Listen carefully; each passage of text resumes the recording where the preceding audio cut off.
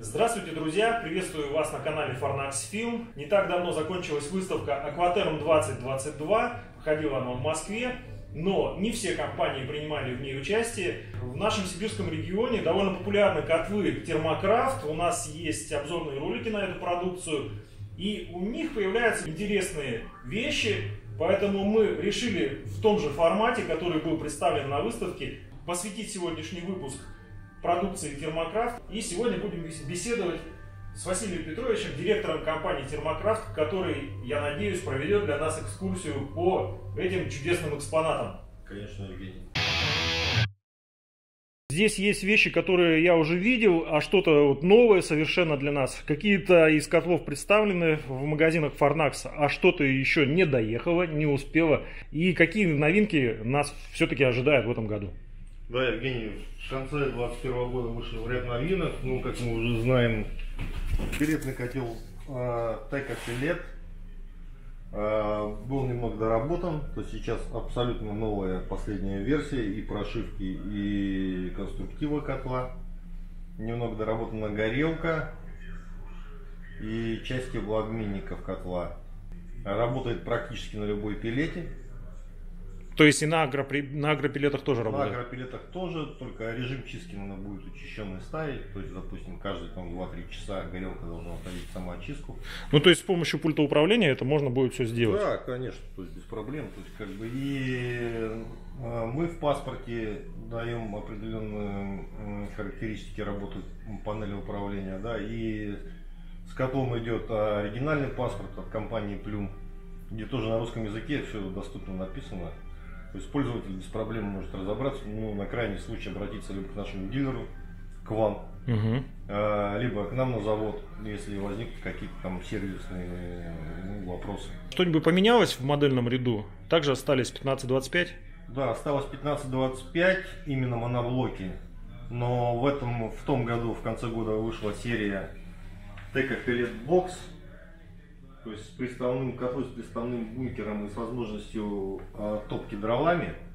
Э, в этом году планируется выход э, модели 42 киловатта именно. Это будет большой котел с большим бункером, и рассчитан он будет где-то, ну, бункер, я так предполагаю, на неделю, возможно, да, где-то? Да, как и на всех пилетных котлах, то есть бункер рассчитывается примерно, если это 42 киловатта в районе 350-400 литров.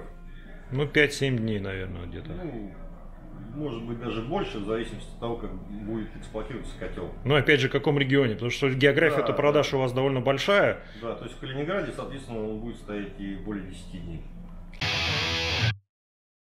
Кроме форм-фактора, есть какое-то отличие у этого котла, у бокс-пилет, э, от предыдущего версии пилет Тека?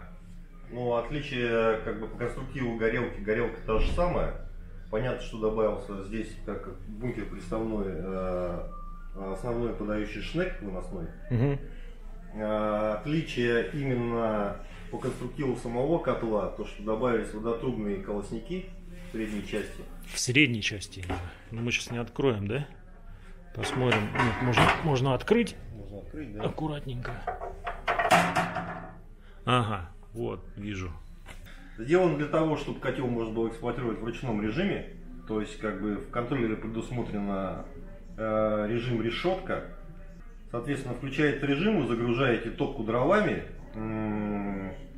и начинаете эксплуатировать в режиме полуавтомата. Если теко-пилет заточен только для работы на пилетах, то бокс-пилет он может работать и еще и на дровах. Да, на дровах в режиме полуавтомата. То есть горелка э, функционирует только в режиме вентилятора. Я понял. То есть у нас нет нужды при работе на дровах снимать горелку, а горелка в этом случае будет работать именно в режиме вентилятора, нагнетающего воздух в, и регулирующий тем самым процесс горения дров в топке котла. Да, все верно. Отлично. То есть возможность к этому котлу еще добавляется то, что он управляет резервным котлом, будь то электрический или газовый. В принципе, на базе э, ТК Box можно собрать э, полностью автономную котельную. По емкости бункеров э, будут какие-то модификации, либо же он будет выпускаться в одной версии? Даже на этих бункерах предусмотрена возможность расширения, то есть можно дополнительно приобрести надставку над бункер.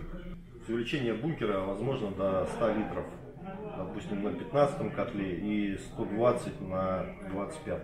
Угу. Василий Петрович, давайте напомним нашим зрителям про горелку, потому что горелка внешне выглядит, конечно, очень технологичной. А какие материалы используются для жаровни? Для жаровни используется нержавеющая сталь, хромсодержащая. Там шестерка, по-моему, да? Там шестерка, то есть как бы горелки уже испытаны, то есть они работают э, в районе двух с половиной лет у пользователей, то есть третий сезон. Угу. Нареканий по горелкам нет. А, горелки поедают любую пилету, как уже ранее было сказано. То есть все зависит от конкретных настроек пользователя. В принципе, в базе мы забиваем уже стандартные настройки на контроллерах. Его достаточно просто подсоединить к системе и включить в сеть. А розжиг с помощью какого элемента производится? А, мы используем керамические тены японского производства, надежные, рассчитанные на скидку на 10 тысяч поджигов. Ну, то есть ну, это да, гораздо больше предполагаемого срока службы котла в целом. Ну да. Про пилеты все понятно. В принципе, эти котлы э, и популярны и у нас в Сибири, но, к сожалению, пилеты не так распространены, как на Западе. Я знаю, что на Запад хорошо продаете.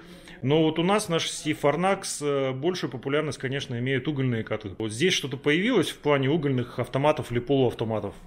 Да, конечно. Именно в плане угольных полуавтоматов, то есть э, вышли новинки Ураган Проф серии и серии Ультра. Котлы Ультра, они уже знакомы э, нашим покупателям, но вот версия Ультра Турбо, она отличается от своего предшественника каким-то образом? И Ультра Турбо, и обычно Ультра это полностью новые котлы. Угу. Прошли модернизацию тоже в 2021 году. То есть старые котлы сейчас сняты с производства, а сейчас новые котлы полностью измененные теплообменники, увеличенные загрузочные шахты – а, поменяли подачу вторичного воздуха в зону горения, а, поставили турбулизаторы сейчас в верхнюю часть теплообменную, а, увеличили зольные ящики, изменили угол наклона колосников, добавили новый шуровочный механизм, и котлы сейчас, в отличие от старых из стройки, сейчас со 4 миллиметровым. То есть, по сути, мы получили новый котел, но под, под старым названием. Да, по сути, это абсолютно новый котел. Ну и по размерам он, по-моему, вырос несколько, стал побольше. Да, по размерам вырос. А, изменилась мощностная линейка котлов. То есть сейчас она начинается с 16 киловатт. Вот как раз сейчас на выставке представлены 16 киловатт мощность. Василий Петрович, у вас же есть обратная связь от ваших покупателей. Я знаю, что вы плотно общаетесь и с клиентами, и даже, с, э, и даже розничные покупатели вам э, звонят и пишут. Есть обратная связь по реальным э, срокам эксплуатации на одной закладке топлива? Ну, в среднем, то есть 16 часов, то есть ультра на автоматике они отбивают. Ну, то есть это э, тот котел, который действительно можно не бояться оставить э, дома, и не беспокоиться о том, что в течение дня он потребует э, внимания, что нужно будет к нему подойти.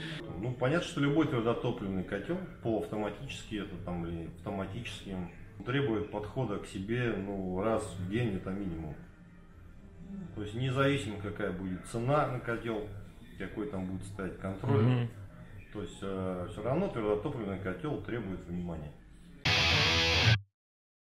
Василий Петрович, приставка турбо есть не только у ультры, но и у котла, который у вас уже производится давным-давно. Вы планируете что-то делать вот с линейкой Zevs, Zevs Turbo, как-то ее дальнейшее развивать? Или те, сколько там, 7, по-моему, модификаций, которые есть э, в линейке, этого достаточно для того, чтобы закрыть вот все потребности? Да, Евгений, 7 котлов линейки Zevs, то есть классические котлы, которые идут э, с механическим регулятором тяги А, Turbo состоит из э, шести моделей котлов, то есть мощностью начиная от 8 до 76 киловатт.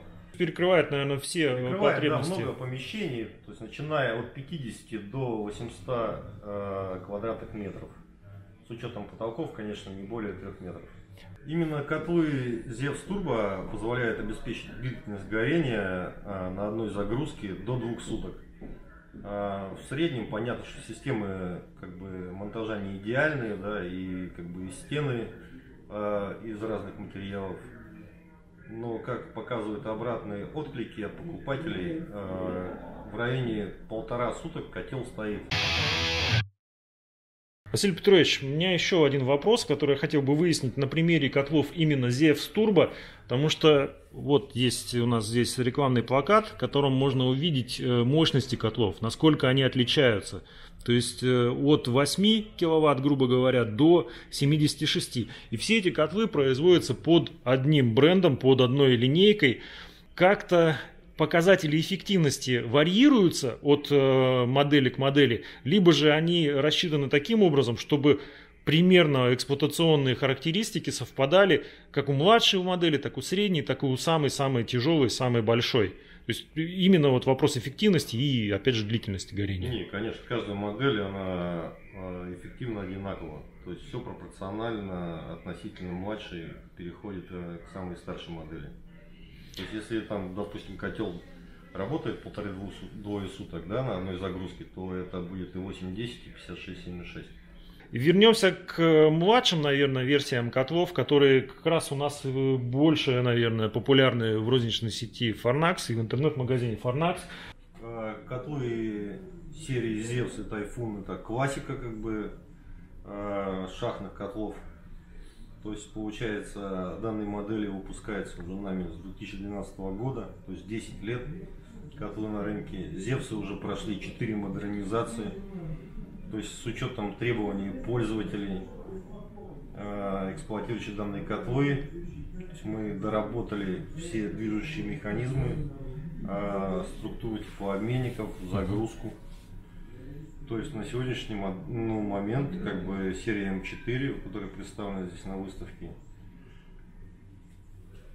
очень хорошо пользуется спросом, причем во всех регионах, не только э, конкретно угольных, даже в европейской части, то есть Москва, то есть Подмосковье, э, за Уралом, то есть также котлы покупаются.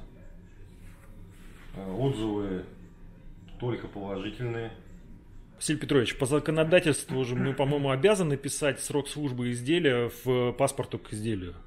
Да, конечно, да. Вот. И как раз, по-моему, сроки для твердотопливных отопительных котлов установлены в 10 лет. Сейчас мы можем наблюдать э, тот переходный период, когда котел, по идее, уже мог выработать свой ресурс, но будет продолжать работать. Вот есть у вас обратная связь по тому, по тем самым, ну, опять же, первым модификациям, которые э, трудятся до сих пор? Да, который в работе находится, то есть и 12-13 годов выпуска. То есть мы специально для клиентов наших сделали э, как бы комплект, комплекты модернизации, то есть э, вот эти верхние крышки и нижняя дверь.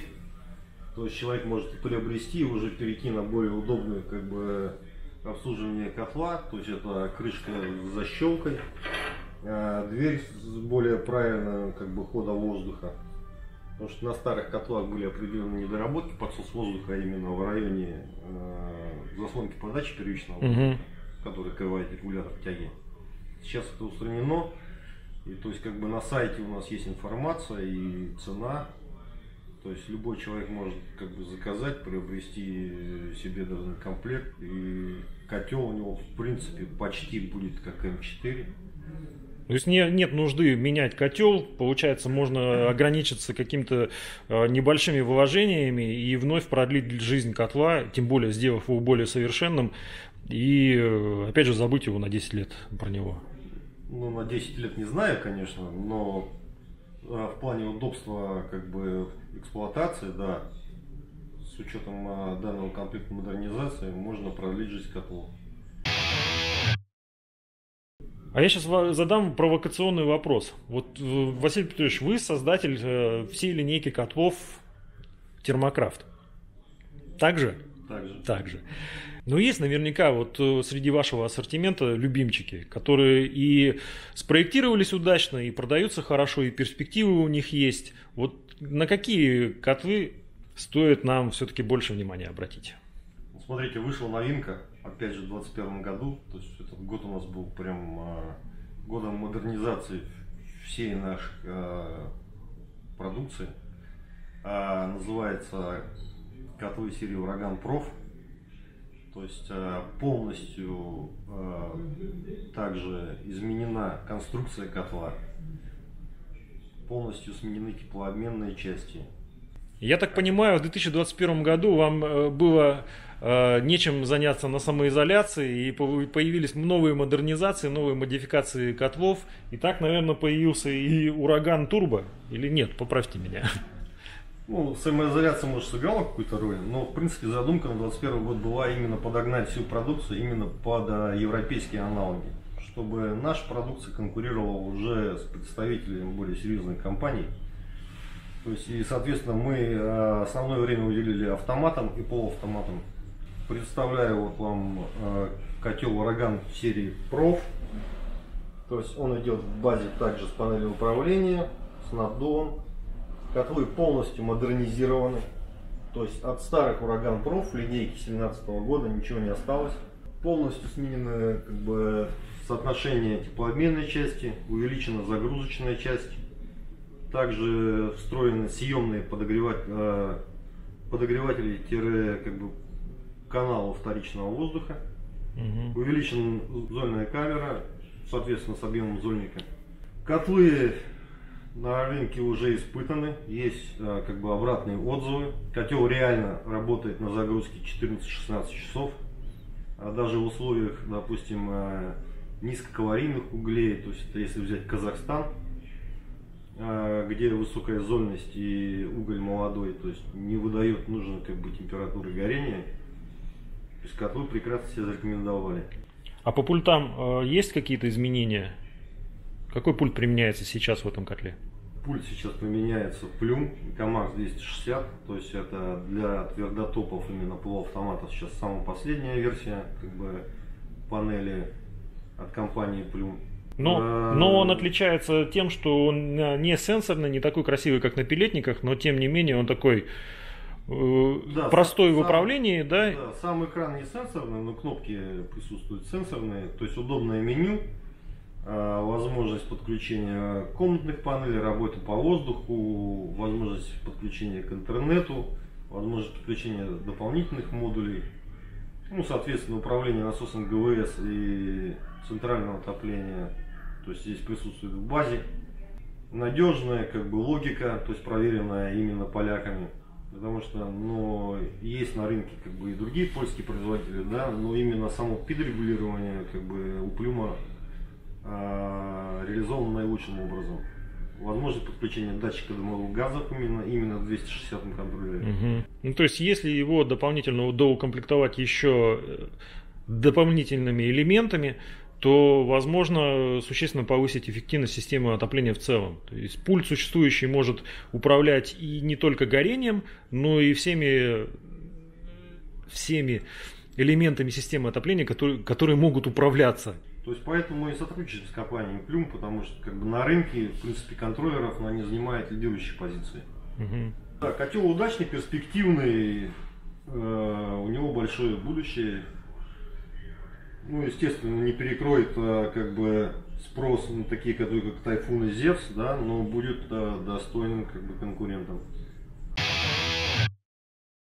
Несмотря на то, что компания на выставке не принимала участия, но тем не менее мы получили полное представление обо всем модельном ряду твердотопливных отопительных котлов, автоматических котлов, котлов, работающих на пилетах.